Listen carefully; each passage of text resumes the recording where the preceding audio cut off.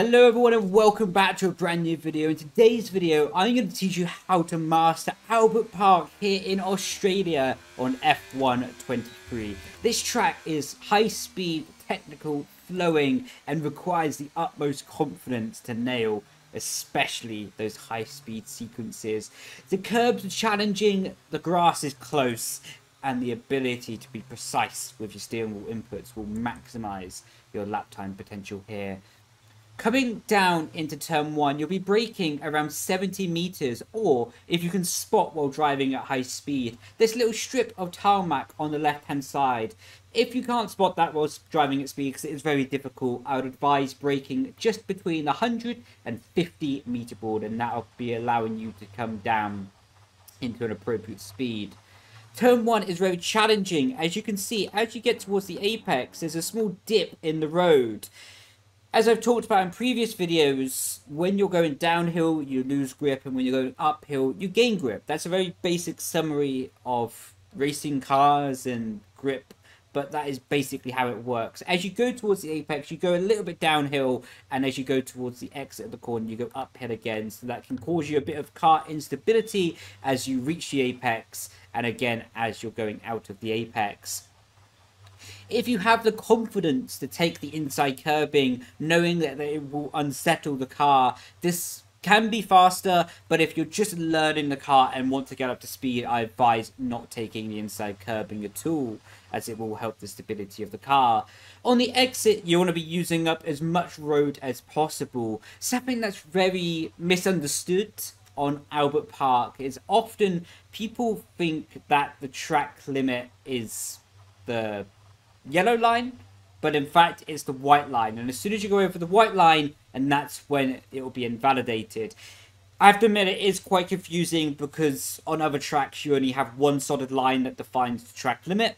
Um, and for this you have two lines. So when driving at high speed it can be a misconception, but that is how to maximize the track here. So you want to be using the AstroTurf on the exit of turn 2 and then full speed on the exit and opening up DRS as fast as possible. Try to avoid using the exit curb there as just adds unnecessary risk towards your lap.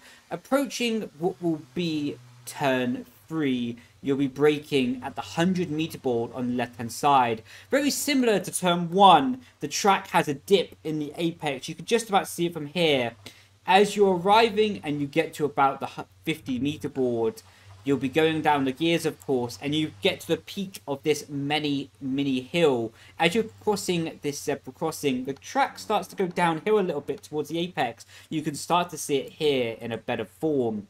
A general tip for you at home is if you want to see the different hills and variations of track height.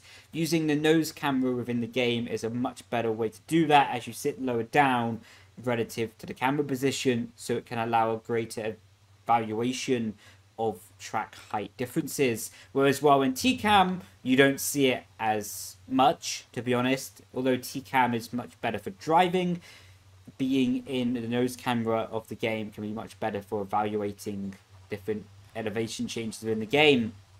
So much similar to turn one, as you'll be turning into the apex, but in turn three will be a much greater effect compared to turn one. You'll start to get a bit of instability in the car, a bit of understeer initially, and you just have to play with this. It's something that's going to happen. You have to accept that it's going to happen, and you're going to have to try to drive around it to the greatest ability possible massively avoid this inside curb as it's quite bumpy as I'll try and drive over you now and show it's quite bumpy. You can see the car is bouncing around a little bit, even at this low speed, and it'll just unsettle the car and cost you grip, confidence, and potential lap time. So only go up to the white line there, and that is the perfect racing line. Getting the white line but not going over the curbing. The perfect racing line here is exiting the corner, actually where this black line is. You do not want to go all the way to the left as you want to focus to bring the car back over the right hand side. So like I say, where this little black line is on the track, that is the ideal racing line to exit corner three on. Coming up to turn four, you bring the car all the way into the right hand side. The further right you can bring the car, the better and you'll be turning at that black box on the left hand side. Avoid the curb on the inside, but like the common theme goes, get to the white line as that'll give you the maximum track width possible. On the exit, I like to run all the way out here and use a maximum of the track width, and then bring the car hard back to down to the left hand side to open up turn 5. Turn 5, again, do not touch the inside curbing, as in qualifying it will be flat out here just about but if you touch the inside curbing, you'll lose speed as the car will start to bounce around, and you might even end, up in the outside wall. So only go up to the white line if you can be that precise. If not, take a lift as it'll be better than the risk of crashing. On the exit, you normally will be forced to use the exit curb here and try to bring the car off this as fast as possible. As like I say, it is bouncing the car around and will lose you lap time potential. So it's very critical to bring the car off the curb as fast as possible. But you probably will be forced to use it to keep the car flat out during turn 5. Arriving a very difficult turn 6, you want to bring the car over to the right hand side and then make it as straight as possible for the braking zone. What I like to do is brake as soon as I get to this exit barrier here. You can see on the left hand side the barrier has a dip here and that is basically for marshals to stick the flag out of um, in a situation. So when that barrier ends on the left hand side, this is where I like to break for turn 6, turning in a roughly around the 50 meter board. Compared to different turns on this track, you actually want to use the inside curb here. It's relatively flat, and actually gives you a good ability to rotate the car as will give you more track width and this turn becomes very narrow and tight and technical on the exit here Similar to turns 1 and 3, the track does have a dip as you go towards the apex, so expect the car to become unstable on the entry and exit. Again, it's something that you can't really change, you just have to deal with it to the best of your ability. So like I say, using the inside curbing and using all of the outside curbing as well, right up to the white line to give maximum track width potential. Coming down the straight, you want to hold the car to the inside line to not use up any extra track distance, opening up DRS and be flying down this track, hugging the inside, and then as the corner starts to open up, bring the car to the outside for one of the most treacherous and difficult corners on the track in the F1 calendar as well. Come qualifying, this corner is so difficult to nail. You'll be looking to hit the brakes at the 50 meter board and turn in when this white line ends underneath the car as well. You'll be looking to try and get two wheels on the inside curbing. It can unsettle the car. If you're comfortable with the car being unsettled, it's better to use the inside curbing. Will give extra track width. If you're not comfortable with the car being unsettled, only go up to the yellow line, as that will give you a slower but more consistent racing line. Bring the car to the middle of the track between the two apexes, and it's so critical here to commit to this inside curbing. It will unsettle the car and the car will bounce around a little bit. But the extra track width that you're going to be able to gain can gain you so much time through this next apex. You can see the curb is quite big there, so you have to be quite cautious with it. On the exit, run your car over the exit curbing as it will gain you lap time. But again, be careful of this white line as going over it will invalidate your lap time. Bring the car off the curbing as fast as possible to try and avoid any chance of the lap being invalidated. Opening up DRS, and this will be running up to a very difficult braking zone, where you'll be braking at the 50 meter board. The, in my opinion, the 50, 100, and 150 meter board are out of sync with actually where the corner is. So you'll be braking at the 50 meter board, even though realistically it's about 100 meters away from the corner.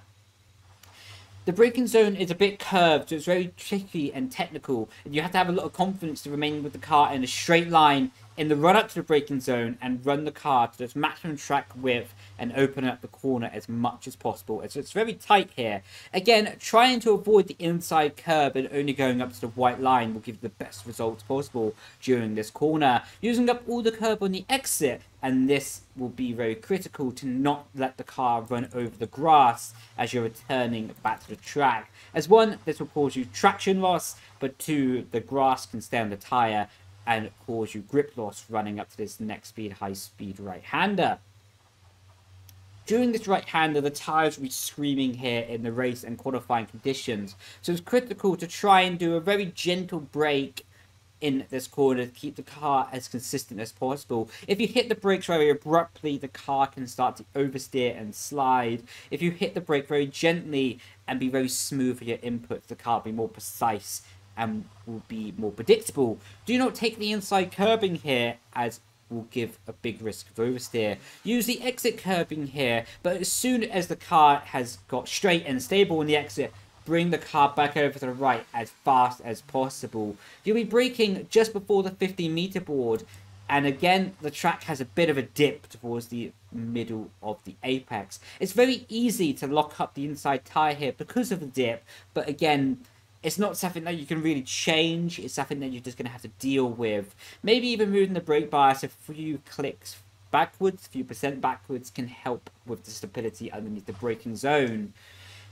As you come towards the middle of the corner, you will face a bit of understeer here because the front tyres are going to be so hot because of the previous high-speed corners and you're just going to have to try and maximize the corner potential knowing that the tires are hot. You do not actually want to bring the car all the way to the exit curb here because you want to maximize your car's ability to bring the car back over to the left ideally turning into the final corner here, you'll be turning in with your left tyres towards this white line. The further you can get to the left, the better, but at minimum, you want to be getting to the white line here, opening up the final corner. Do not take the inside curbing and be smooth on the exit, opening up DRS, and that is a lap of Australia. And now I'm going to take you on a high-speed lap here, displaying in detail. So looking between the 150 meter board Again, avoiding the curb for stability, hard back on the power on the exit. Opening up DRS, do not take the curb on the exit.